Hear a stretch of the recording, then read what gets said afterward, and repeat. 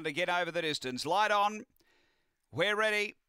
Race 10 here in Adelaide. They're set to go.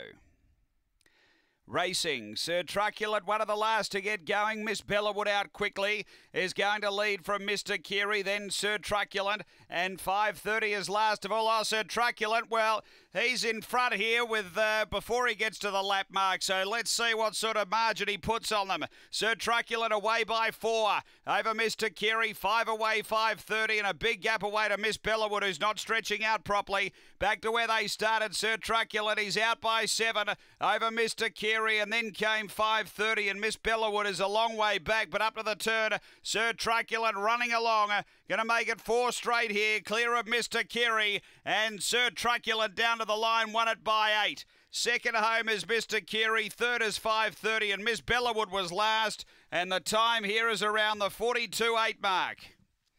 So uh, comfortable there for the favourite, Sir Truculent.